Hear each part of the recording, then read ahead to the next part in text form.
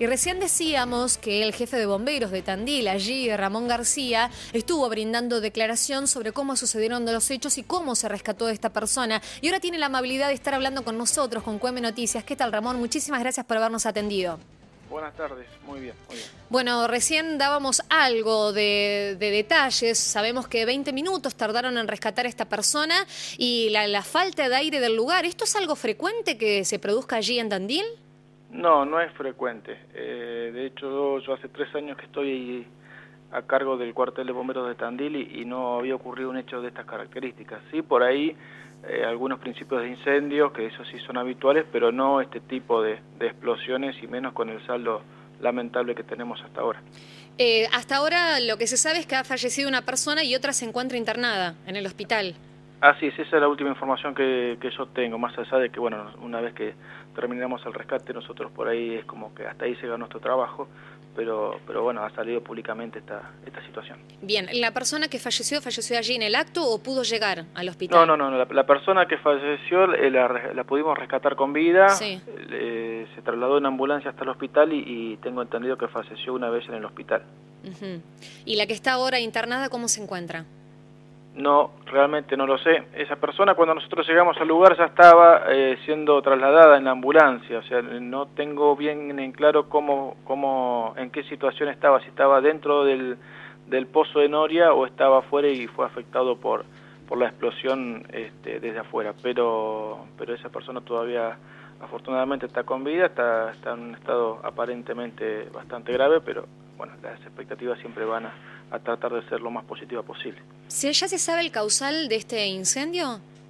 En realidad, eh, la causal la, está investigando la comisaría de la jurisdicción, veremos quiénes son los peritos que, envían. Nosotros por ahí, eh, tratándose de una explosión, no, no, no hemos hecho la pericia, eh, si se hubiera existido por ahí algún incendio pero eh, lo que sí puedo decirle que la atmósfera no era respirable para nada, por lo menos a la, nuestra llegada.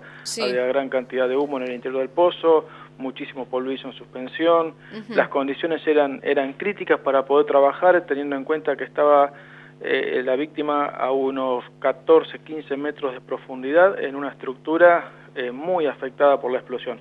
O sea, habían quedado varios restos de la losa que cubría la parte superior del pozo sueltos, como así también en las cañerías que unen esta, este pozo de Noria con el resto de los hilos que se encuentran alrededor. Por lo tanto, la situación era, era muy compleja para poder retirarlo y bueno, afortunadamente se lo pudo hacer en, un tiempo bastante, bastante corto. Y, bueno, se lo sacó con vida y lamentablemente luego falleció en el hospital. Claro. Eh, ¿Quién habría dado aviso de esta situación y cuántos trabajaron allí en el lugar? Y yo realmente el aviso al cuartel de bomberos lo da la Guardia de Emergencias del Hospital Municipal de esta ciudad. Eh, realmente quién les dio aviso a ellos no lo sé. obviamente ni bien recibió la alarma pidiendo la, ambulancia y ante la característica del, de este tipo de incidentes eh, llamó inmediatamente al cuartel de bomberos pidiendo desde esa la unidad de rescate que bueno que estuvo ahí junto, junto con la ambulancia. Después colaboró personal policial brindando la seguridad necesaria, el personal propio de la empresa que teniendo en cuenta que se necesitaba este, eh, gente para poder hacer la, fuerza necesaria para extraer eh, a la víctima en un estado prácticamente inconsciente. Entonces el cuerpo, o sea, la víctima no podía colaborar en nada para poder salir, por lo tanto el esfuerzo fue, fue bastante importante. Si bien esto es atípico ahí en el lugar, ¿cuáles son las condiciones de seguridad que se manejan para prevenir este tipo de situaciones? Y tenemos que tener en cuenta que este tipo de lugares son eh, espacios confinados. Los espacios confinados presentan generalmente una vía de ingreso bastante difícil para llegar a, adentrarse en este tipo de lugares, pero es más difícil aún el egreso, y más teniendo en cuenta una situación de emergencia. Por lo tanto, se debe tomar ciertos, ciertos recaudos, como por ejemplo medir la, atmósfera. Si tenemos una atmósfera pobre en oxígeno o demasiado rica, si tenemos algún tipo de gas que haya en el interior y no sea perceptible al, al, al olfato de la persona, las personas que ingresan deben hacerlo con las medidas o con las medidas de protección necesarias, como por ejemplo un arnés de seguridad, cabo de vida, equipos de respiración de ser necesario. Tampoco se puede trabajar solo, se deben trabajar de a dos, deben estar permanentemente vigilados, no pueden permanecer así por mucho tiempo. Este, son todas condiciones que se deben respetar siempre, que se trabaja en, un espacio confinado, como es en este caso, se los puede trasladar también a otros, ¿no? pero bueno, en este caso particular. Mientras que hablamos con usted y usted también nos relata lo difícil que fue rescatar, observamos esta imagen, por ejemplo, eh, por ahora se manejan muy pocas imágenes porque es una noticia reciente, pero la magnitud del impacto que ha tenido es impresionante.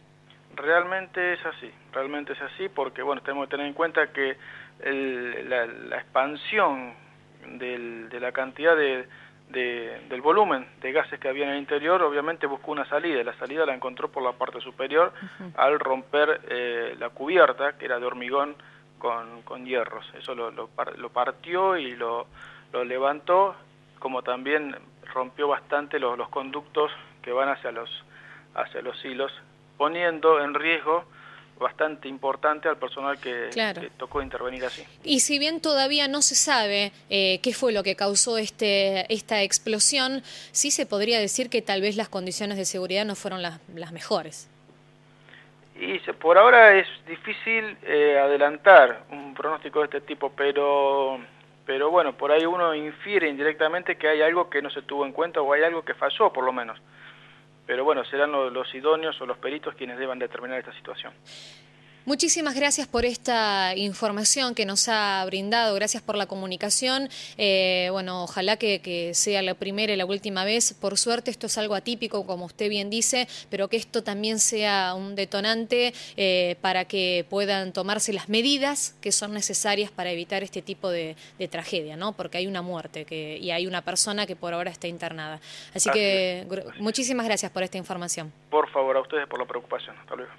Estábamos hablando con García, el jefe de bomberos de la ciudad de Tandil, y hace horas nomás explotó un silo allí en esa ciudad y nos contaba cómo las medidas de seguridad que hay que tomar para evitar este tipo de tragedia y también eh, cómo han trabajado y lo costoso que ha sido trabajar en ese lugar.